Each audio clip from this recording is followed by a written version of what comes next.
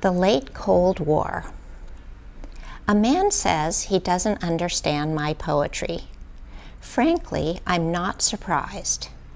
I learned to write in a hot desert during the Cold War. We did air raid drills in a schoolyard full of thick skinned ornamental oranges. We saw dioramas of a fallout shelter where a mother wearing a light print house dress served TV dinners on aluminum trays to children wearing saddle shoes. The man says poetry should be simple enough for schoolgirls to understand. But, sir, schoolgirls understand everything. Nancy Drew was in love with the obstacle, not the clue.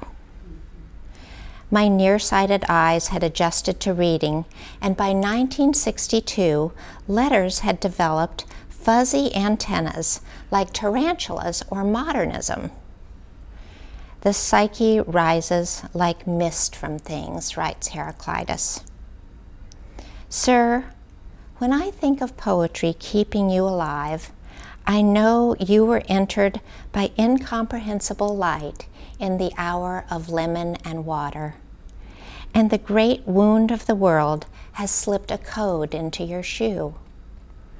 The poem doesn't fail when you set your one good wing on the ground. It is the wing. It doesn't abandon you.